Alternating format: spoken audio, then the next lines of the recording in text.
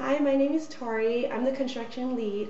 I oversaw managed construction and worked on the final report, and my working hour factor is 1.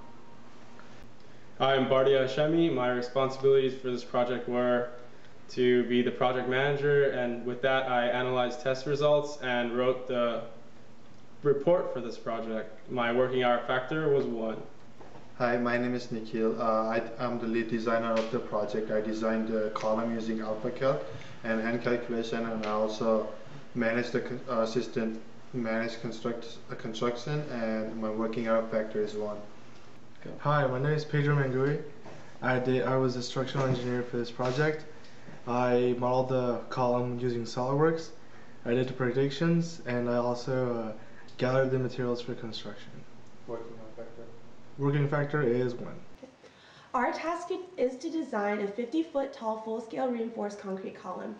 The column is to be reinforced with grade 60 steel and be connected to a fixed footing. For the full-scale design, the column is axially loaded in compression with four, 400 kips from the bridge superstructure. In addition, the column must withstand an earthquake load ranging from 64 to 96 kips. The SolidWorks model is composed of three major extrudes. Uh, if you notice in the figure, uh, the first is a blue base, which is pretty simple. The second is a column. Uh, the column is 15 inches high and uh, with a cross section of 7 quarters of an inch by 7 quarters of an inch.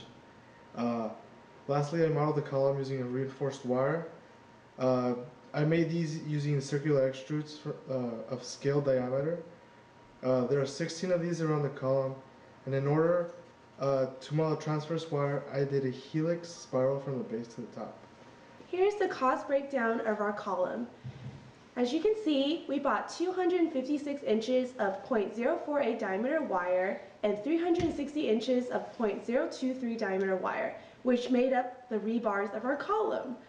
Um, for the column itself, we bought one bag of 750 gram plaster of Paris, and for the footing, we bought two bags of 750 gram of hydrostone.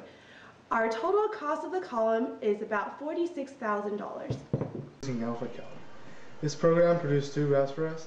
It gave us a PM diagram, at, which is known as a force moment diagram, and also a moment curvature diagram. For further analysis, we compiled information extracted from these diagrams and produced a force displacement curve. Uh, this diagram predicted 55 pounds at one at half an inch and 68 pounds at one and a half inches. Scaled down model of the column was created in order to observe the effects of seismic loading that would be experienced at the site. The scaled down model had a cross-sectional area that was square with both transverse and longitudinal reinforcement bars introduced to create a plastic hinge at the base that would deflect and withstand any loads that would be experienced. For each longitudinal inch of the column, four transverse bars were placed in order to create significant displacement. This allowed for the column to bend without breaking and withstand any moments that would be created at the bottom. To test the column appropriately, it was first pre-stressed with 250 pounds of axial compression. Then it was loaded with a range of 40 to 60 pounds in order to displace in cycles of 0.5 inches, 1 inch, and 1.5 inches in each direction. Test results of our column will show the performance and the failures of our column after the testing. Uh, our column was supposed to displace uh, five, half an inch, 1 inch and 1.5 inch respectively in each direction with the to able to withstand 40 and 60 pounds. As you can see the graph, our column withstood about 80 pounds only for initial half an inch displacement and it could not go past one that to 1 inch and 1.5 inch due to shear failure on top as you can see here.